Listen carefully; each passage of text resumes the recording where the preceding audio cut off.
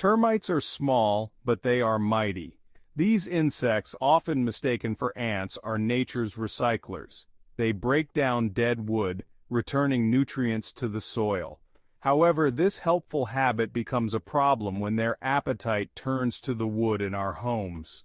Termites thrive in warm, humid environments. They are found on every continent except Antarctica.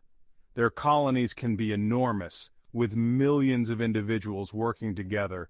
Despite their small size, termites can cause significant damage. They work silently and unseen, often going undetected for years. This hidden threat makes them a serious problem for homeowners around the world. Termite colonies are highly organized societies. Each colony is a superorganism, a collection of individuals working together as one. Within the colony there are different castes, each with a specific role. The king and queen are responsible for reproduction. They produce the eggs that hatch into new termites, ensuring the colony's survival. Workers, the most numerous caste, are responsible for foraging, building, and caring for the young. Soldiers with their large heads and powerful jaws defend the colony from invaders. This complex social structure allows termites to thrive in a variety of environments. Their ability to work together is key to their success. Termites are detritivores, meaning they feed on dead plant matter, primarily wood. They possess special enzymes and gut microbes that allow them to digest cellulose, the tough fiber found in wood. This ability to digest cellulose makes them both beneficial and destructive. In nature, they play a vital role in breaking down fallen trees and returning nutrients to the ecosystem.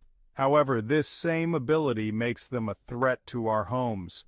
They can consume wood from the inside out, leaving behind a thin veneer that can crumble at the slightest touch.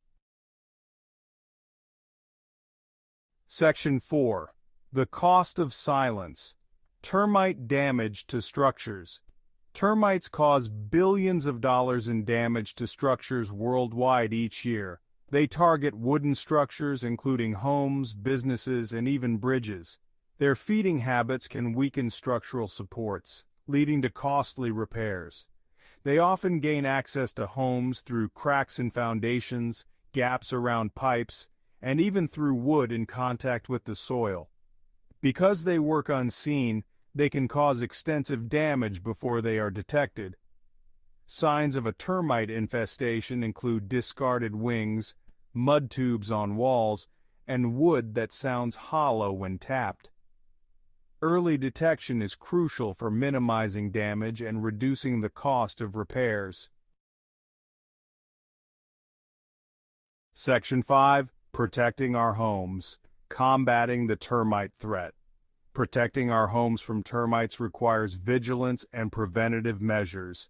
Regular inspections by qualified pest control professionals are crucial for early detection. Treating the soil around the foundation of a home with termiticide creates a barrier that prevents termites from entering. Reducing moisture around the home by fixing leaks and ensuring proper drainage can also help deter these pests. Homeowners should also be mindful of the wood they use in construction and landscaping. Treating wood with preservatives and avoiding wood-to-soil contact can make homes less attractive to termites. By understanding the threat posed by these silent destroyers and taking preventative measures, we can protect our homes from their destructive power.